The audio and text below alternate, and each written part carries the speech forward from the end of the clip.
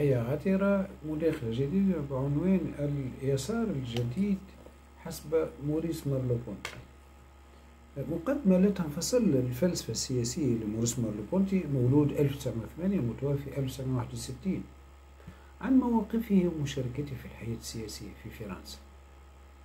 لقد رسخ قدمه بقوة في التراث الفينومينولوجي ورأى أن الفلسفة يجب أن تسمح لنا بمعرفة إمكانياتنا. احتمالات في عصرنا. إمكانياتنا في يعني وصف الواقع وتغييره.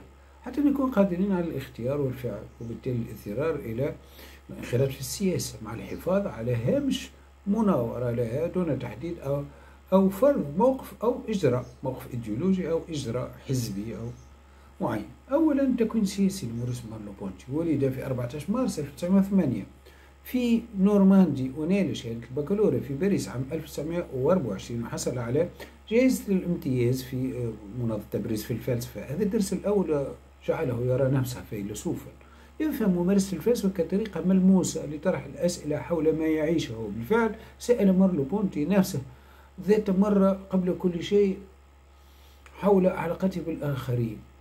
حصل على آه، آه، يعني أطروحته سنة 1930 وخلف سيمون دي بوفوار وسيمون فايل. ثم أدى الخدمة العسكرية حتى أكتوبر 1931 يعني آه، ربما من أجل حماية كاثوليكيته من كل التعصب الديني الأعمى اقترب ميرلوبونتي من الدوائر الكاثوليكية اليسارية في منتصف الثلاثينات ولا سيما الدومينيكان و فكر أو إسبري. حيث وقع العديد من البيانات السياسية معه. بدأ دراسة ماركس في مجموعة مجلة فكر والتي كانت مهتمة بشكل خاص بالنزعة الإنسانية. في كتاباته المبكرة من عام 1937 إلى 1939 حضر أيضا ندوات عن هيجل لألكسندر كوجيف والذي أراد كوجيف استخدامه كأداة دعاية ماركسية. رفض ميرلو الانضمام إلى الحزب الشيوعي. منزعج من دغمائية مناضليه من محاكمات موسكو وابتعد عن الكاثوليك حتى ينفصل عن مجلة فكر بعد مؤتمر عام 1937 حيث أكد مونيه على دغمائية معينة يعني مؤسس مجلة, مجلة فكر مونيه آه، قبل أن يتخلى تماما عن معتقداته الدينية بعد بضعة أشهر. وهكذا اقترب مارلوبونتي من آه، اثنين من أهم الفلاسفة من أجل أن يأتي عملهم من قراءتهما. بالنسبة لماركس من قبل كاثوليك آه، وبالنسبة ليك من قبل الماركسي كوجيف. بعد أن نأى بنفسه عن الكاثوليك اقترب من التروتسكيين ولا سيما دافيد روسيه. أثناء ثم أثناء الحرب اقترب إلى الشيوعيين بما في ذلك بيير نافيل وبيير هيرفي. ذهب ميرلوبونتي إلى الحرب بصفته ملازما ثانيا في سلاح المشاة مجرد تسريحه تم تعيينه أستاذا للفلسفة معهد كارنو. استأنف منصبه في معهد الدراسات العليا وبدأ ما يمكن أن يكون مقاومته للاحتلال. منذ بداية العام الدراسي شكل مجموعة مقاومة تحت تسمى تحت الحذاء والتي ضمت من بين آخرين ديسانتي وديبو وفيكتور كوزان وبيكيرت توفي الأخيران أثناء الحرب فيكتور كوزان وبيكيرت عندما عاد سارتر من الأسر عام 1941 اتصل بميرلو بونتي واندمجت مجموعتهما لتصبح مجموعة واحدة اسمها الاشتراكية والحرية. بالنسبة للمجموعة كان الأمر يتعلق بمحاربة الاحتلال الألماني مع تمييز نفسهما عن كل من الشيوعيين أو الاشتراكيين والديغوليين ومع ذلك فإن الاشتراكية مجموعة الاشتراكية والحرية لم تنجح. لم تنجو من دخول حرب الاتحاد السوفيتي وجاذبية الجماعات الثورية الشيوعية. سينضم معظم أعضائه إلى صفوف الحزب الشيوعي. أثناء الحرب أو بعدها. ماتت المجموعة ببطء لكن ذلك لم يكن نهاية أنشطة مجموعة الاشتراكية والحرية السياسية. بالطبع ظلت أطروحة أطروحة أطروحة نشاطها أطروحة الاشتراكية والإنسانية نشاطها نشاطها الرئيسي واستفاد من وصوله إلى بعض مخطوطات هوسرل مباشرة قبل الحرب وبعدها. ومع ذلك فهو لا ينسحب بأي شكل من الأشكال من هذا العمل وأكمل التدريب الماركسي بقراءة ماركس ولينين وتروتسكي. آه، تحتوي يعني فينومينولوجيا الإدراك الحسي أيضا على العديد من الإشارات إلى الماركسية ويمكن قراءة الجزء الأخير منها كرد فعل على سارتر بناء على أفكار مشتركة بين الفينومينولوجيا الهوسرلية والماركسية. حتى في صفوف آه، آه، في صفوف هذه المجموعة ربما اختلف أو عاصى ميرلوبونتي المنهج وتعلم من ماركس وهيجل ومن طلابه وفقا ويتسيد سنة 1988 وقد كان ينتمي أيضا إلى جماعة الجبهة الوطنية الجامعية أو الجبهة الجامعية الوطنية. ربما كان يوزع منشورات في المدرسة الثانوية وخلال تحرير باريس انضم إلى دورية مسلحة.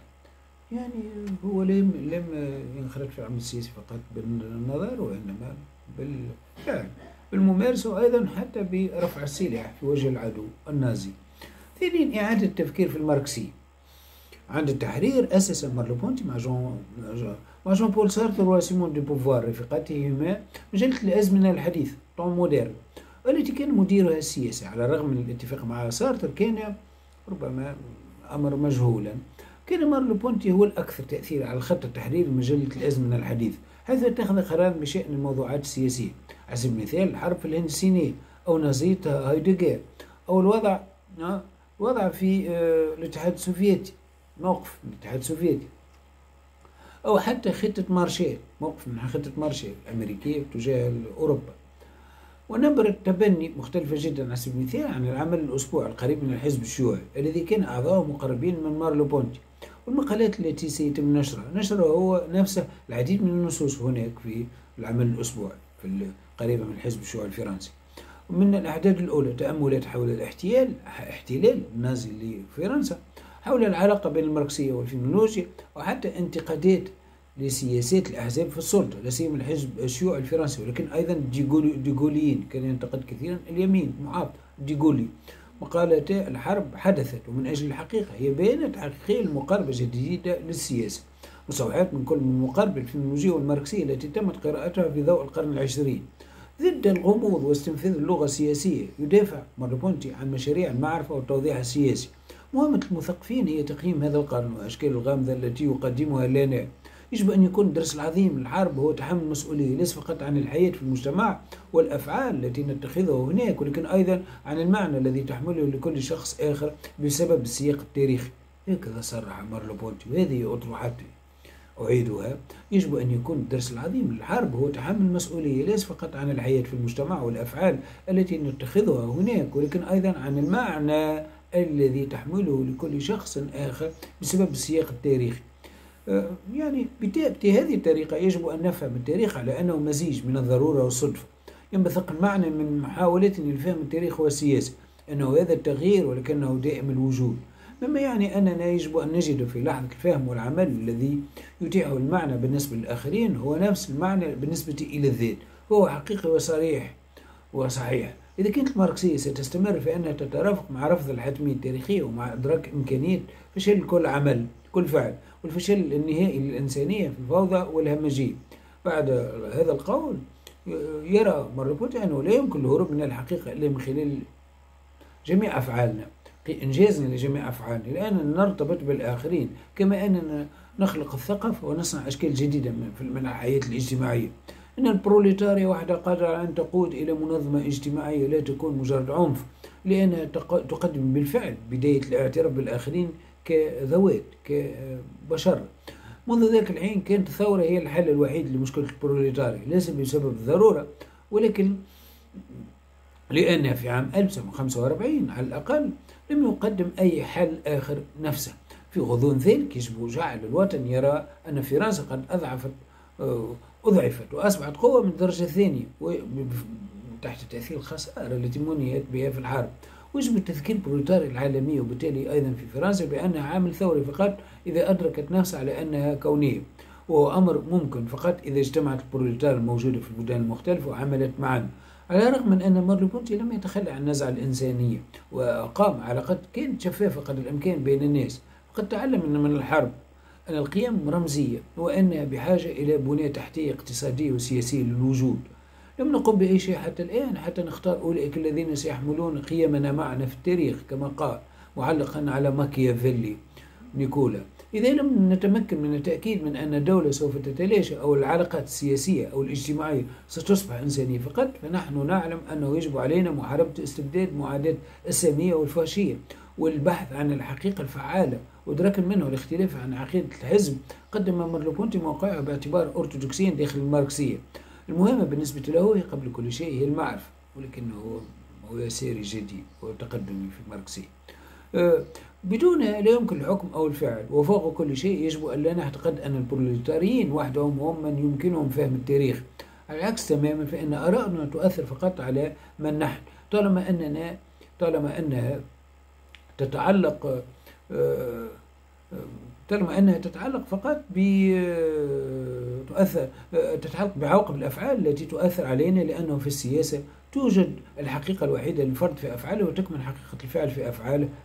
العواقب من العواقب والرأي الذي لدى الآخرين منا هو مثل مثل الرأي الذي لدينا عن أنفسنا. ثالثا مشكلة العنف. واصل مارلو بونتي هذه الأفكار يعني في صلب اليسارية في صلب يعني اليسار الجديد. في سلسلة من المقالات التي نشرت في مجلة الأزمنة الحديثة بين عامي 1946 و 47 تحت عنوان يوغي والبروليتاري وتم تقديمه لأول مرة كرد نقدي شديد على آه، أرتور كوستلر. هذه تروتسكي. هذه النصوص التي ستصبح كتاب الإنسانية والإرهاب أو الرعب. ليس موضوع محاكمة موسكو كما تدعي القراءة المشتركة. فهي مجرد واحدة من الموضوعات. بل أنها تعمل على توضيحات المشكل المشكلات التي تطرحها ممارسة العنف ضد الإنسانية؟ درس مارلو بونتي لينين وتروتسكي في هذا السياق. ولكن إذا تعامل مع نصوصهما ذلك من حيث أنها تشهد على نفس النزعة الإنسانية التي يتمتع بها ماركس الشاب وهي دائما مرتبطة بكلماته وأفعاله كسياسة التي تناقض مبادئه إلى حد كبير. الماركسية كما اقترح مارلو بونتي تجعل من الممكن تجاوز التناقضات بين الموضوعية والذاتية بين الضرورة والصدفة بين الثورة والفرد وحتى بين الغايات والوسائل. إذا كان اعتراف بروليتاريا بالبروليتاريا يجعل من الممكن تجاوز هذه التعارضات. فذلك لأن هذا التجاوز خاص بكل العلاقات الإنسانية فإن البروليتاريا تجد نفسها في وضع متميز بسبب عملها. لذلك سيكون السؤال في السياسة هو اعتراف الإنسان بالإنسان. لا يوجد شيء سوى وجهة نظر البشرية وكل الحقيقة تنشأ من الممارسة بين البشر. من خلال نقدها للرأسمالية والليبرالية وفحص لمحاكمة موسكو انتقد مارلو بونتي كل السياسة فيما تحتويه من قهر واستغلال من حيث أنها لا تتحمل عنفها أكثر من إنسانيتها. أنها ليست مسألة تبرير أو رفض للمحاكمات قد أوضح مارلو بونتي أن هذه الأعمال سياسية وليست محاكمات بالمعنى القانوني. ولكن معرفة ما تقول هذه الأحداث حول أي سياسة إخفاء العنف في المحاكمات أو في المستوطنات. هو إضفاء الطابع المؤسساتي عليها وإضفاء شرعية عليها على هذه الممارسات.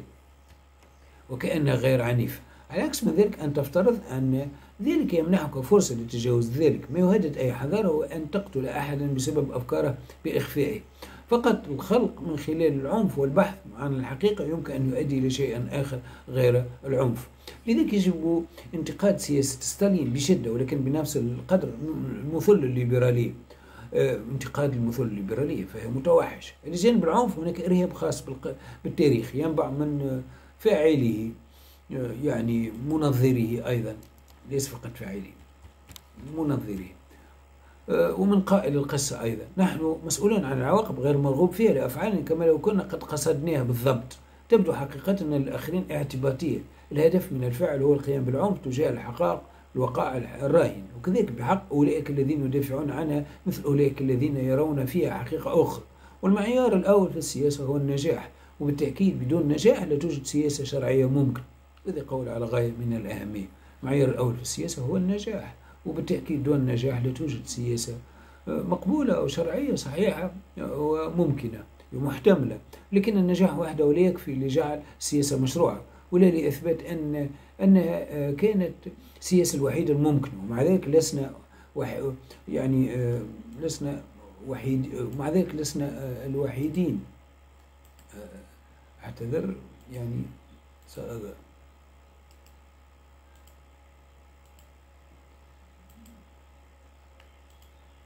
مع ذلك لسنا وحدنا وكل وجهة نظرنا تعتمد على وجهة نظر آه، الآخرين وجذورنا في العالم وفي التاريخ. ما هم ليس العنف؟ وهو أمر حتمي ولكن معناه معنى العنف. أنه يتم أخذ وجهة نظر الأخرى في الاعتبار. آه، السلم مثلا. آه، لا عنف. لأنه في هي التي تعطي معنى لوجودنا تنبع إنسانية الماركسية من نظريته حول معنى التاريخ كما حمل حملته وحلمت به بروليتاريا أي عمل أي فعل يجب أن يكون بمثابة حل وسط يجب أن يهدف إلى رفع مستوى الوعي والعنف الذي يمارس ضد الوقائع. ويجب على البشر أن يفوض التاريخ في هذا الاتجاه. بالطبع يجب آه، أن نحكم على الأنظمة السياسية من من هذا من هذا المنوال على هذا المنوال على منوال المعنى وليس الواقع الواقعة أو الحقيقة. ولكن يجب أن نفعل ذلك في ضوء الأنظمة الأخرى القائمة بمقارنتها مبادئها وأفعالها كما فعل ماربونتي في مقاله من أجل الحقيقة. اختتم الإنسانية والإرهاب بملاحظة الحاجة إلى سياسة الانتظار والترقب. أنه يرفض الشيوعية آه، أو العقيدة الحالية آه، يعني في الاتحاد السوفيتي. وفي الشيوعية التي يتبعها آه، التي يتبعها الحزب الشيوعي الفرنسي.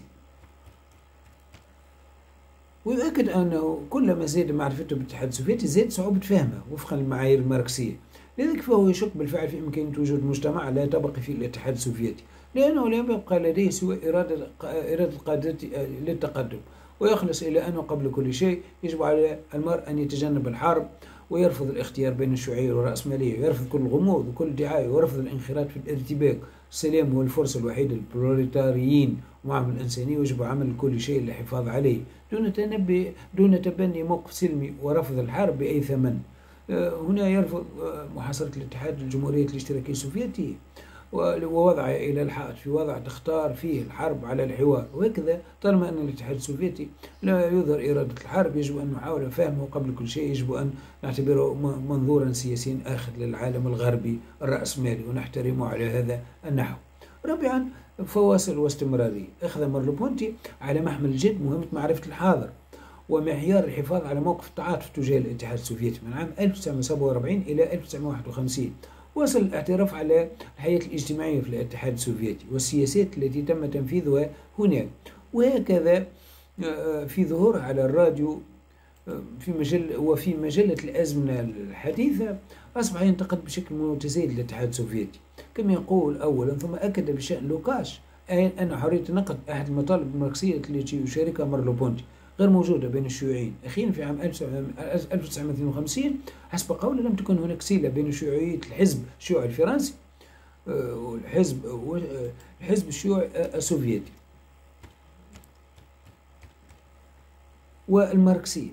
وفي هذه الأثناء آه، حدثت قطيعة كبيرة ظل صامتا حتى عام 1955 ولكنه عاد في إلى بداية الحرب الكورية عاد إلى الساحة السياسية في بداية الحرب الكورية. أظهر الاتحاد السوفيتي من خلال عدم التدخل لمنع تصرفات كوريا الشمالية لما آه، آه، يعني في الحقيقة موقف مارلوبوتي أنه لم إذا لم يرغب صراحة في الحرب أو خاضها علنا فلن يفعل شيئا لمنعها إذا كان يخدم مصالحها فجأة تصبح قوة إمبريالية مثل غيرها من دون أي امتيازات يتحدث عن الاتحاد السوفيتي. في نفس اللحظة التي تخلى فيها مارلوبونتي عن تعاطفه الأخير مع الشيوعيين مع التزامه الماركسي دخل في صراع مع جون بول سارتر حول الموقف الذي يجب تبنيه كشخص. قد أثار كلام ومحادثات مطولة حيث أثرت على الماركسية بقدر ما أثرت على فلسفة الوجودية. كانت صداقتهما متوترة لدرجة لدرجة أن أنه أصبح من الصعب عليهم الاستمرار في تقاسم مسؤوليات المجلة. في أعقاب الحرب الكورية أراد مارلوبونتي أن يظل صامتا حيث كانت القوة الغاشمة هي التي ستقرر وهي صماء لنداءات المثقفين وعمياء عن كل العقل. وهكذا بين عام 1950 و 1952 تمكنت مراجعة القوى الغاشمة هي السلطة السلطة القائمة آنذاك. نعم. آه، السلطة السياسية. نعم. آه، يعني حيث أظهرت المقالات المقدمة التعاطف الذي أبدته المجلة ولكن لم تنكر صراحة فيما يتعلق آه، بالشيوعيين ومن ناحية أخرى منذ فشل التجمع الديمقراطي الثوري الذي حاول تأسيسه مع جون بول سارتر الذي أنشأه مع ديفيد روسيت وجيرالد روزنتال وانضم إليه مارلو دون أن يتورط في ذلك مفضلا التعامل مع الأزمنة الحديثة عاد سارتر إلى الخدمة في المجلة وأصبح أقرب إلى الشيوعيين من الحزب الشيوعي الفرنسي. لدرجة أنه عقب اعتقال الأمين العام للحزب الشيوعي الفرنسي جاك دوكلوس لأسباب مشكوك فيها في أحسن الأحوال كتب سارت مقال طويل نشره في مجلة الأزمة الحديثة في عدة أجزاء الشيوعيين والسلام والذي يتناقض ضمنيا في عدة نقاط مع أفكار مارلو بونتي والتي فصلت الطالب السابق المتعاون الوثيق مع الأخير كلود ليفور. بعد هذه الخلافات كل ما يتطلبه الأمر هو الخلاف المقترن بسلسلة من الغيابات القصيرة من باريس من قبل يعني اللي جعل من قبل المخرجين اللي جعل القضية تنفجر. استقال مارلو بونتي من منصبه في المجلة في عام 1952 ومع ذلك لم يجد نفسه مهمشا في المجال الفكر الفرنسي. لقد تم بالفعل انتخابه لرئاسة قسم الفلسفة في مدرسة في المعهد الفرنسي. تمت كتابة مغامرات الديالكتيك بهدف شرح الأسباب الفلسفية للانفصال عن الماركسية أي أسباب التخلي عن الماركسية وليس فقط دعم الاتحاد السوفيتي. الفصول التي تتناول ماكس فيبر ولوكاتش والتي تشكل مساهمة الإيجابية للكتاب مأخوذة جزئيا من دروسه. ألقاها عام 1953 بعنوان مواد لفلسفة التاريخ. وماكس فيبر كما يقترح يقدم المفهوم الأول الليبرالية كمهمة مما يميزه عن الليبرالية ويمكن أن يكون نموذج لمفهوم جديد للحرية ضد الرأسمالية. بعد أن درسها لوكاتش أيضا قاد إلى التوفيق بين الأضداد التي جمعها فيبر معا بشكل بطولي مما جعل الديالكتيك حقيقة واقعية. على عكس من ذلك دفع البلاشفة إلى الحد من هذه التناقضات نفسها التي كان على الماركسية أن تتغلب عليها. قبل كل شيء الحقيقة والعنف والموضوعية والذاتية في التاريخ وينطبق شيء نفسه على سارتر. قد قادوا معا إلى تصفية الديالكتيك الثوري الذي حاول مارلو بونتي تحقيقه حتى يتمكن من فهم التاريخ بشكل ديالكتيكي مرة أخرى. ومع ذلك إذا كان هناك بالفعل انقطاعا سياسيا فإن هذه الدورة التدريبية الأولى في الديالكتيك تتواصل مع سلسلة من الدورات التدريبية في التعبير واللغة والأدب. علاوة على ذلك فإن مغامرات الديالكتيك هو أول كتاب نشره مارلو بونتي منذ محاضرته محاضرته الافتتاحية في المعهد الفرنسي والذي الكوليج دي فرانس والذي كان أحد الموضوعات الرئيسية لجانب التعبير ومهمة الفلسفة. فلسفة التاريخ منذ مثل مثل يمكن فهمها ليس فقط بعد هيجل وماركس ولكن أيضا بعد علم اللغة لدى لدى دي سوسير فرديناند دي سوسير يعني الالسوني ليس فقط فلسفة التاريخ هي التي يجب إعادة التفكير فيها من أجل مارلو بونتي ولكن الفلسفة كلها. ولهذه الغاية يجب أن ينظر إلى الماركسيه على أنها فلسفة دون امتياز بخلاف ما تسمح بفهمه. قد أجرى إصلاحا شامل للمفاهيم الفلسفية التي ستصبح مركزية في فكرة بناء على دراسته اللغة والتعبير فيما يتعلق بالآخرين والتي كان يواصلها منذ من وجه الإدراك. أسفرت هذه الدراسة أيضا عن كتاب غير مكتمل اسمه نثر العالم Prose du monde وكذلك في دوراتها الأولى في في المعهد الفرنسي حول في وجه الكلام. آه، في هذا الصدد يتعامل في مغامرة الديالكتيك مع مفاهيم مهمة بالفعل ومفاهيم أخرى ستصبح آه، كذلك قريبا. أولا تعامل مع إحدى الدورات لسنة 1954 و 55 مع المؤسسة في التاريخ الشخصي والعام. كما يشير عنوانها فإن مفهوم المؤسسة الذي يتبنى المفهوم الهوسري للتأسيس والوقف والذي لديه لحظات آه، للحظات ما درسه بالفعل بموجب شروط الأساس والترسب أو التحدث باللغة واللغة المنطوقة. يربط قصة فرد بقصة الآخرين والمجتمع إنها مسألة التخلي نهائيا عن فلسفة الوعي من أجل محاولة فهم ما تفعله الذات. وكيف آه، تفعل دائما مع الآخرين؟ آه، يعني هذه على غاية من وطالما أننا جميعا نعمل على نفس الأشياء. نحن نتعامل باستمرار مع المؤسسات والمصفوفات الرمزية وأساليب الحياة التي تم إنشاؤها بالفعل بشكل هام وهي هامة ومتاحة لنا لإعادة تأسيسها وجعلها لنا. نجد فيها ونجد أنفسنا فيها. فنجد الآخرين فينا ونتصرف بأخذ الأدوار والإمكانيات المحددة أمامنا والتي تحددنا بقدر ما نحددها بدورنا. بعد ذلك تتعلق دورات 1955 1956 بالديالكتيك من ناحية كمفهوم في تاريخ الفلسفة من زينون إلى ماركس. ومن ناحية أخرى فيما يتعلق بتطور فكرة. يعني تطور فكرة في الديالكتيك باعتباره ديالكتيك حي. الفكر الذي مثل حركة الوجود ذاته الذي لا يتوقف أبدا حيث لا يوجد توليفة نهائية.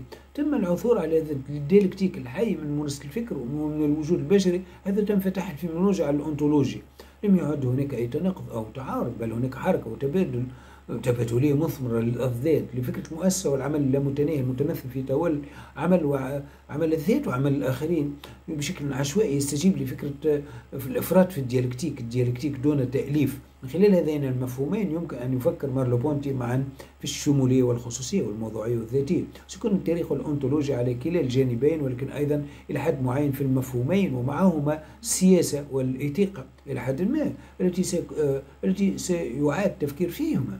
مما أدى إلى المشروع الجذري لكتاب المرئي ولا مرئي آخر كتاب نشره آه، مارلو بونتي. إذا نأتي إلى النقطة المهمة يسار يسار جديد. هل هو يسار شيوعي أم يسار اشتراكي؟ فكر يساري فقط.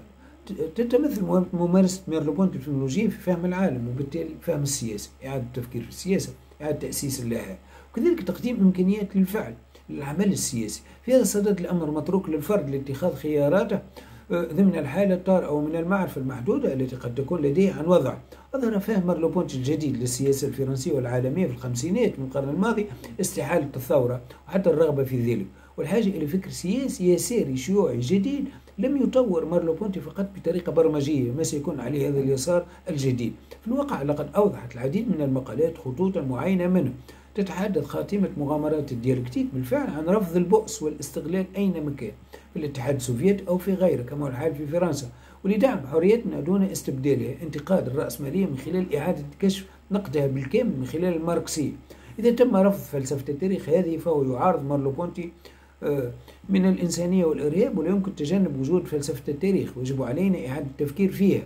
ثم آه، تأخذ معركة مارلو بونتي مستوى جديد. ستكون مسألة إظهار أن البديل بين الشيوعية ومناهضة الشيوعية ليس بعيدا وأن انتقاد أحدهما يتطلب انتقاد الآخر. عليك أن تخرج من روع التكتيكات لتكون مستقلا ولتطور وجهة نظرك وترى الحقائق وتنهي شلل السياسي. إذا كان يعني هذه على غاية من الأهمية التي هذه الجملة التي قالها مارلو بونتي على غاية من الأهمية. علينا أن نسجلها.